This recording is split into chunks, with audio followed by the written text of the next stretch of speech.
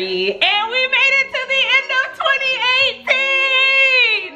2018! In today's video, I will be naming my top five albums of 2018. Let me lay some ground rules down first though, okay?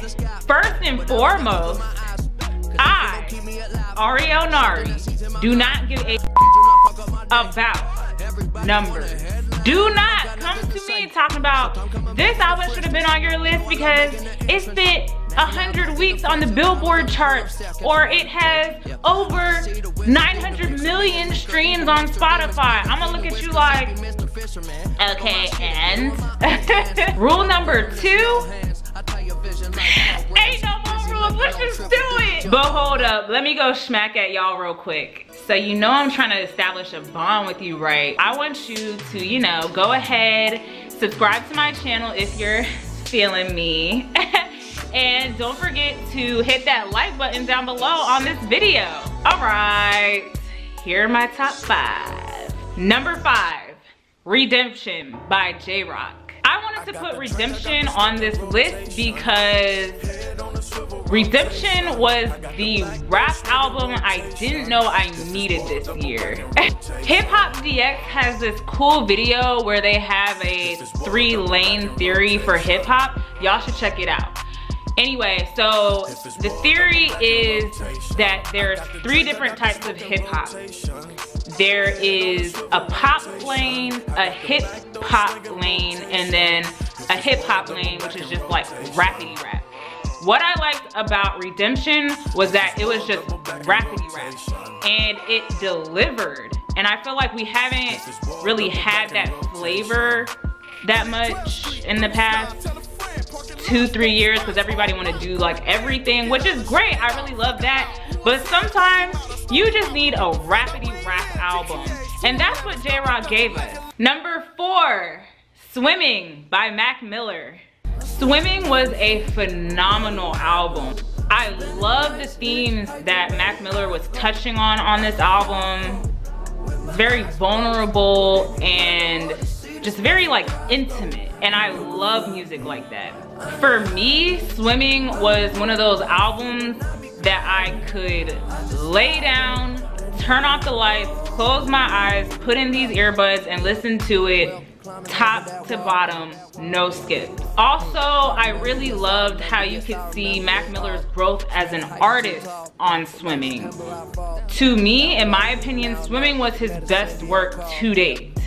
And it's tragic that we won't see him grow even more. Number three, KOD by J. Cole. KOD was like the first mainstream release that started like just this onslaught of good music. KOD is on my list because of the concept. It's very well thought out and in my opinion, well executed. J. Cole went there with the topics he chose to talk about on KOD. You know, talking about mental health, addiction. A lot of rappers won't go there. I'm also a fan of a good comeback story. And you know, a lot of these haters in these streets was talk about, oh, J. Cole fell off, he's boring after For Your Eyes Only. But he came back, you know, out of the shadows with KOD and proved them wrong. Number two, Astroworld by Travis Scott. So remember in my album review for Astroworld how I was like, am I gonna be listening to this like that? Probably not. Y'all, I lied.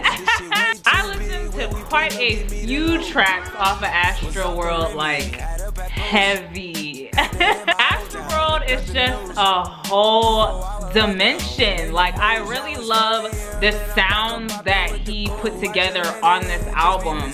He got the bangers for sure. Y'all heard Sicko Mode. For me, Astroworld is just fun to listen to and that's why it's on my list. and the number one album of 2018 goes to Whack World by Tierra Whack. I know some of y'all are gonna be mad that I made Whack World number one, but let me tell you why I made it number one. Whack World is very distinctive.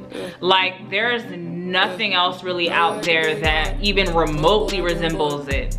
For originality alone, Tierra Whack is light years beyond a lot of her peers. Also, the packaging of this album was immaculate. Like, it was a visual album.